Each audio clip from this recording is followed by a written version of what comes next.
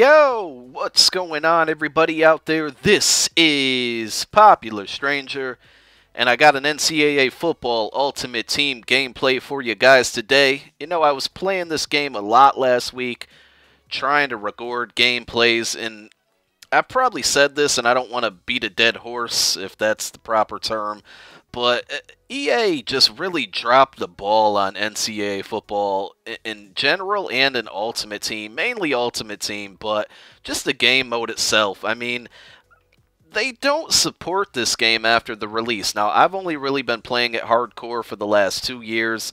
Uh, what I normally did was rent the game until Madden came out. Um, but and, and, I was really worried about when I heard that they were dropping Ultimate Team in this year's game that uh, the support of it would pretty much die down as soon as Madden came out. And it was so great at first. They were giving us cards every Thursday night, the Heisman hopefuls every Saturday, and soon as soon as Madden came out, all of that support just dropped. Now, I know they do give us, like, the league leaders cards, and those are pretty cool on Fridays, and they are still giving us certain solo challenges. Um, and I stepped away from this game mode, as I've said many times, for a while, so there's a lot of stuff I possibly and probably missed out on. Um, but just again no support after the release. I made a video back when this game came out about an option glitch that happens when there was a certain option play that i ran and it would freeze my game every time. Uh, i sent it to ea i sent it to guys on the ea forums. They said they were looking into it. And last week when i was playing the same thing happened. It still exists. It's terrible. Um, no type of roster updates for online gaming. I mean even if you're not going to um, you know increase overalls and things like that, at least update, you know, the rankings of each team when you're picking your team because I, I don't know. Again, it's just like you, you pay money for this game and then you feel like uh, the, the developers just don't care. They got your money. Um, now, I know a lot of people will probably say that with Madden and any other game, but I, I don't find that to be true. I just feel like in this case, it, it, really is they got your money and then they, they stop caring. There's no new patches. I mean, they come out with these jersey releases or jersey packs and they update the jerseys, and that's cool and all. Why aren't those same jerseys in, in Ultimate Team? You know, that would be a great feature uh, and correct me if I'm wrong on this part, but I remember before Ultimate Team was released, they had all these great videos on how there's going to be all these types of different packs to open, you know, conference packs and all this. Uh, I, I, have I missed those or something? I'm not sure what's going on. I don't recall any type of conference packs coming out. Again, I stepped away from the game for a while, so I may have missed that. Um, and let me know in the comments if I did. Um, they still never updated the, the game clock or even the quarter time, and that's a big issue. I mean, I played a game last week where I literally had the ball one possession. I scored on my first possession.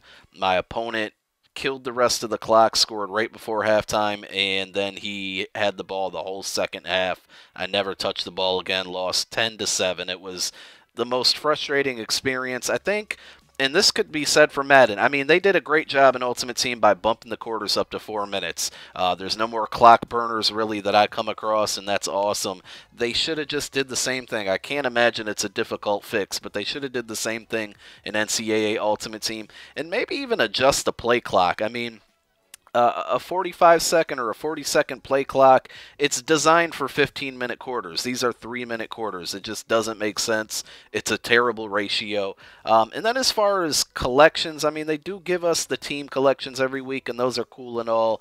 Um, but just so many other ways they could have benefited and, and made cool features in this game. Like uh, when the BCS, or even the bowl season, but I'm just going to focus mainly on BCS bowls.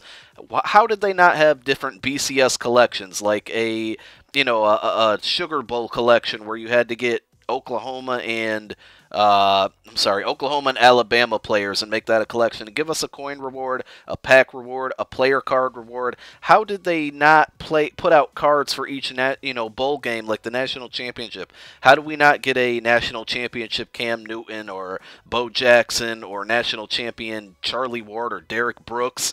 You know, a Sugar Bowl AP, a Sugar Bowl Julio Jones, a Rose Bowl Andrew Luck or Russell Wilson, a Rose Bowl Plaxico Burress. I don't know if they have the license to him, or you know, a a Orange Bowl Brian Dawkins or Orange Bowl Terrell Pryor. Like, how did these cards not exist? How am I thinking of these ideas? And I tell you, I'm running out of time in this video, but they better give us future star cards. We better get a Johnny Manziel in this game mode, a Davion Clowney, a Clinton Dix. When these players get drafted and, and, and they should be in Madden, they should also be in NCAA Ultimate Team. That would at least make things fun playing with guys who right now are untouchable but shouldn't be in a couple months. Click that thumbs up. I really would appreciate it. Peace.